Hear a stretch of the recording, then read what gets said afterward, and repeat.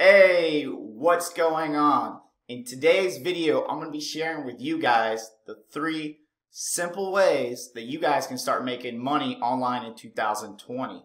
Now, the three ways that I'm going to share with you requires zero experience.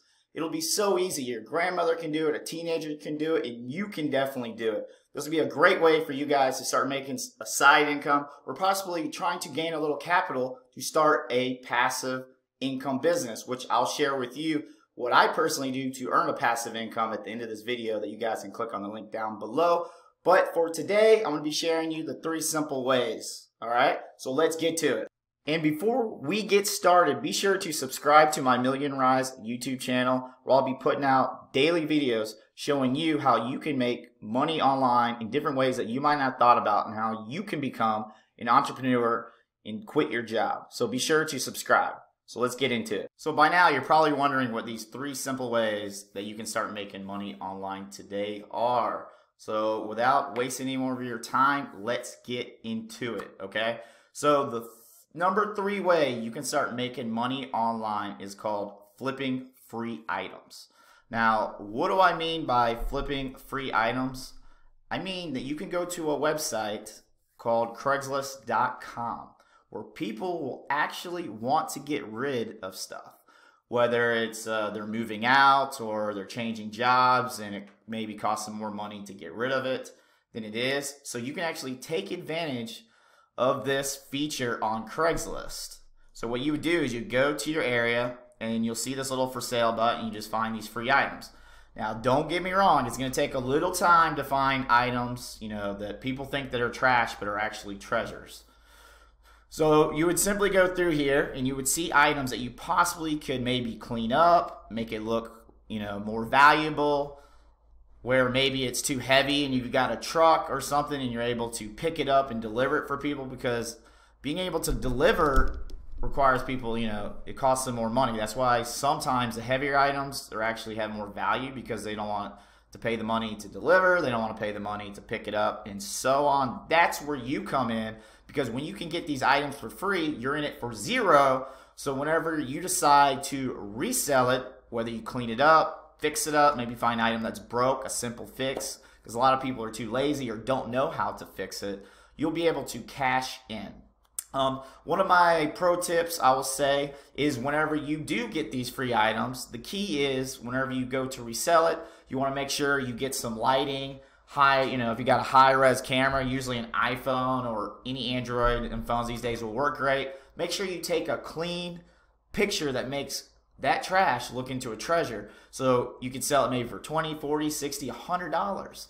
Because um, a lot of people, they, they get lazy when they actually post these items and you know they got blurry pictures the ads like hey it's uh, let's give you it's iphone 7 but they don't give all the details it's stupid things like that that don't allow their item to sell and what'll happen is they're like you know what? Screw it. I just want to get rid of it. I want to get out of my house. Free items okay? So if i go down to this free items let's just see what we can find to give you a quick idea.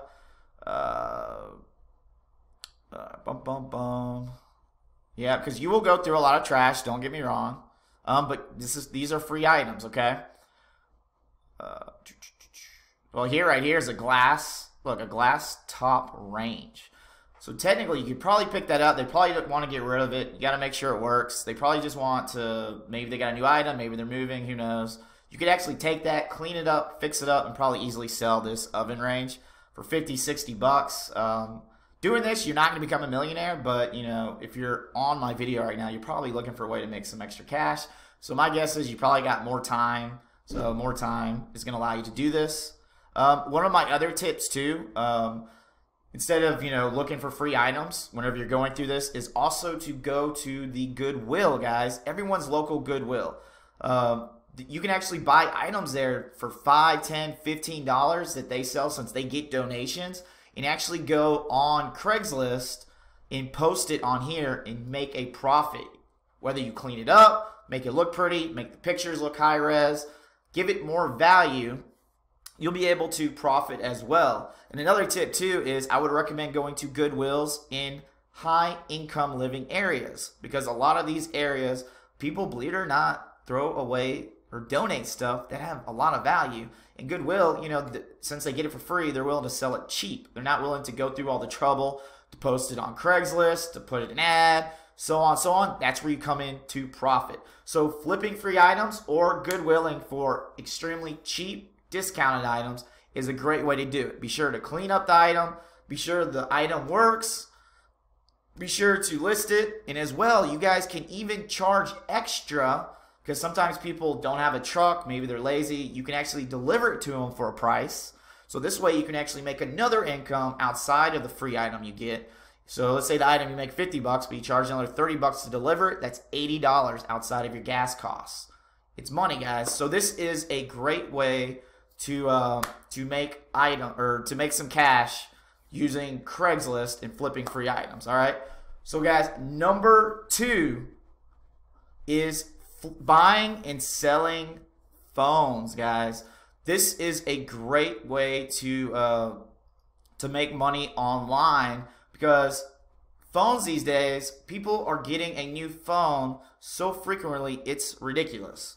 They get them every year, every two years. You see, you know, T-Mobile, AT&T, Sprint. They always got these new offers, and they're getting rid of their old phone, and they don't know what to do with it. A lot of people don't know about Craigslist. They don't know about uh, OfferUp or letgo. These places that people can actually resell their phones. And believe it or not, their two year old phone is almost the same technology as their new phone.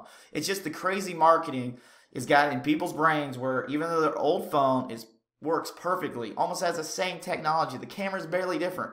They somehow have to go buy a thousand dollar iPhone. But their old phone, they don't know what to do with it. Um, they either sell it to the their carrier for dirt cheap. I don't know if you guys ever tried to trade one in. They're not going to give you what you paid for it. So they don't know what to do with it.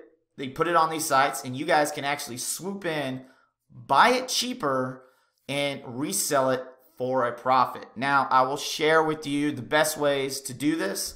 Um, the, one of the ways, if you don't know how, you know, if you just want to have people call you or text you, people that are trying to sell their phones, you can actually make an ad on Craigslist um, that says wanted, looking to buy any type of phone. This way, people will text you, they'll call you, they'll um, they'll send you the phone, and you decide if you want to buy it for them, and you would look in to see if you can actually make a profit. Um, another spot you guys can actually look for phones. So we'll do a good example here. Let's say I want an iPhone 7. Um, I go on a site called OfferUp. It's an app on your phone as well. It's a great app. It's an app that where you work with local people in your area.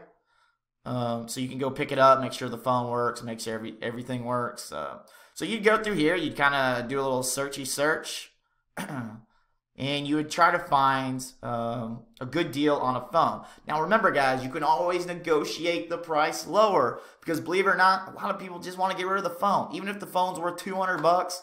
And let's say the ad's been sitting there for a little bit, they're not willing to wait. So sometimes if you're, you know, if you're a smooth talker, you're good at negotiating bringing the price down, you know, talking about the good or bad about the phone. Sometimes you get that phone for 100 bucks and they just want the money now. Maybe they need to pay a bill. Maybe they need something else. But, you know, their disadvantage can be your advantage. And if you're probably wondering, how am I going to know, you know, what the phone is actually selling for outside? There's actually a great website right here. Um, it's called movaluate.com, okay? You can actually see what smartphones are worth. So what were you looking for? iPhone 7. Depending on the gigs, we can actually look up. So what I would do is I would simply look up um, iPhone 7. I'll give you guys a couple cool tips as well. Um, let's just say it's AT&T. So you'll see fair market price is $142. It uses a system. It checks out all the online sales, everything else. It's roughly selling about $142. Okay, um, on the high end, 150. On the low end, 133. So in my mind, if I want to make a decent profit, I want to try to find this iPhone 7. Um, what is it, Apple iPhone 7, 32 gigabytes for around 100 bucks. That way, worst case, I profit uh, 33 bucks. Best case, I profit what 50 dollars. That's a that's that's 50% return on what you found on someone that's just willing to get rid of it. So I would go on here and you'll see they're selling for 250, 200. Don't let that discourage you because always people are trying to get more.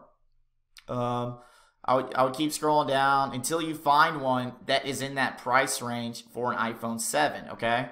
So, what is it? I think I saw one here. So here's an iPhone 7 Plus for $100. So you go, and you can even, guys, you can even negotiate. Even because it says $100, you'd be like, hey, you know, maybe I'll come meet you for, you know, $80 so you guys don't have to drive. So you can get it cheaper. Uh, and another little trick with um, iPhones is whenever you buy this iPhone, let's say this iPhone here only works with AT&T, okay? Well, guess what? You can actually unlock any iPhone for free, okay? A lot of people don't know this.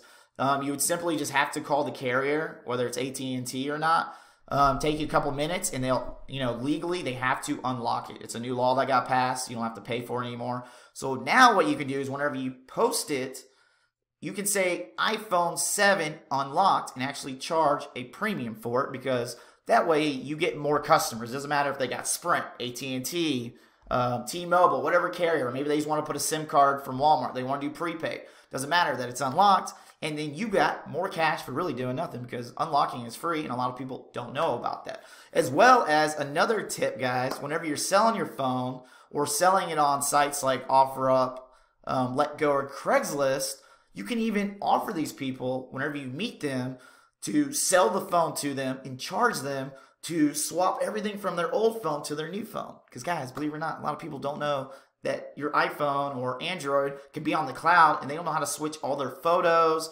their pictures, their contacts to the new phone. Normally they would go to, you know, those little stores, AT&T or the Apple Genius Bar, sit there, whether they got to pay or not, depends. And this way, you can charge them maybe 20 bucks, something that takes you like five or 10 minutes. If you don't know how to do it, go on a YouTube channel showing you how to transfer data and stuff, and you can offer this as a service, guys. So think about that. You can go from selling this for 140, 150 bucks, buying it, let's say for 100, charge someone $20 to switch all their contact information making it 170 70 bucks doing this okay so buying and selling phones is a great way and also offering little side services is another way to up the price and earn more cash okay and guys the number one thing that i'm going to show you is one that you probably don't think about but it's buying and selling appliances, okay? So if we go back to the to Craigslist, buying and selling appliances, all the way from refrigerators to microwaves, uh, toasters, ovens. These things are heavy, but just like phones, guys, for some reason, marketing in America, the rich people or whatever, they can have an appliance that's only two years old, but they go to a store and they see the brand new toy, they want to upgrade it. But even though their old one is perfectly fine and has high value, but they don't have the time to go resell, take the time to take the pictures, take the appliance, do all that stuff, that's where you come in again. So it works the same way because people are always upgrading their their washing machines, their refrigerators every 2-3 years. And you can take and find their old things, go pick it up because it's heavy. So a lot of people don't know what to do with it, believe it or not. So the weight actually works in your favor. You can even charge them or negotiate a price less to say, hey, I'm going to pick it up. Uh, you don't have to deliver it. Or whenever you sell it and they're looking to buy from you, you can offer the service saying, hey, I'll deliver it to your house. Um, you can even make more money saying, hey, uh, I can take out your old appliance and install your new appliance. Just learn how to do that, guys. It's simple, but believe it or not, a lot of people, they don't know how to do it. Um, you can look on YouTube how to do it, but they don't want to take the time so you can actually earn more money. So on Craigslist, you can find appliances galore. Uh, people are finding. So you got this Whirlpool dishwasher. I mean, look at this. $190 this thing. They said it probably sells for 500 I would negotiate it down 190 um, It is going to take time. You're going to have to message a lot of people, guys. This is hustling. Um, this is a way to gain capital, so you're going to have to hustle a little bit. Don't let that scare you because you've got time. But imagine this. Imagine the money you can make, okay? So this guy's selling for 190 in Austin. Um, I would negotiate, maybe try to get him down to 150. Say, hey, 150, I'll come pick it up. No worries. You could probably go back on Craigslist um, or OfferUp and flip it. Um, you have to see what the value is, guys. I haven't checked. This is just for example purposes, okay? So you can even see in, uh, here's another one. Look at this beautiful piece, man.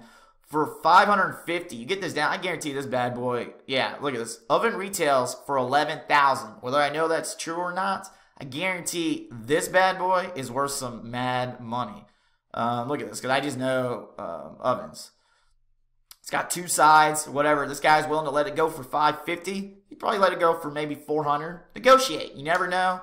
You clean it up, you take some better pictures, you offer to deliver it to the next person, and let's say you sell this for $800, okay? That's a $300 profit. Um, it's a great way to make money because just like phones, appliances are high demand um, in terms of that because people are just getting the newest thing every single year.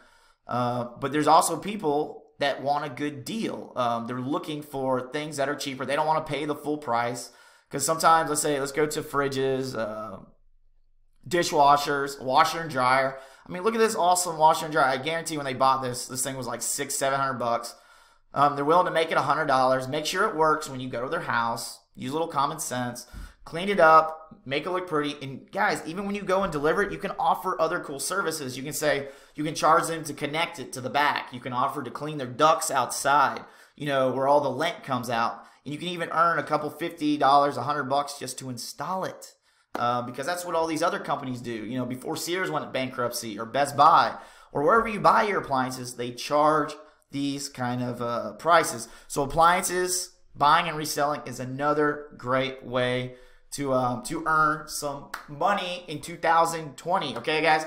So I hope these three ways kind of gave you an idea, different mentality of how you can possibly make money doing a little side hustle. So if you enjoyed this video, guys, please be sure to hit that like button. I would greatly appreciate it. It allows me to post more videos, allows my content, you know, to send you guys more free content. Also, comment down below if you guys have ever sold, bought um, from the free section, how your experience was, any tips from buying and selling iPhones, anything that I did not mention on the appliances, be sure to comment. And guys, this is Million Rise. Until then, have a fantastic year.